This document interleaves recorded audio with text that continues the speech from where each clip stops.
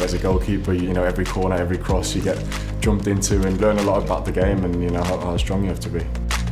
In football, knocks happen quickly and you want to make sure you're ready as quick as possible because, you know, obviously the level we play at, if you're not 100% fit, you're going to struggle.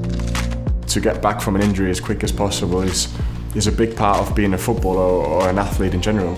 The longer you're out, you know, the more behind you're going to be on, you know, speed and, you know, fitness and whatever it is.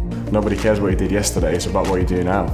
So if, if you're injured and you miss, you know, two, three games, and whoever comes in for you does well. Nobody cares about you and how well you've done the last year. You know, if he does well now, because that's what matters.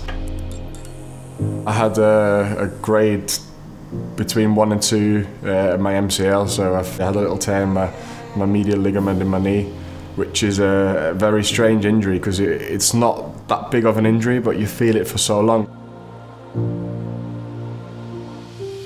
If you have an injury like this, you know you want it to be on the spot where you have the pain, injury is, and that's obviously what it's perfect for with the with the metal plate it's got on, and it's so much more accurate than all the other things I've used before, and it just makes it easier to treat it and to to, to get the cold or heat or whatever you want to use it for right where the actual injury is, rather than covering a big area and hoping that that bit gets cold.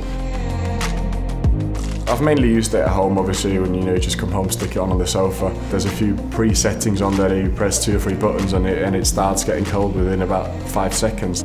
I take it to the games as well every now and then, you know, because if you get a little knock or whatever, it's just easy to, you know, put on a bus and put it on. You don't need any ice or water or anything, you just, just stick it on and get the cold or heat on or whatever it is.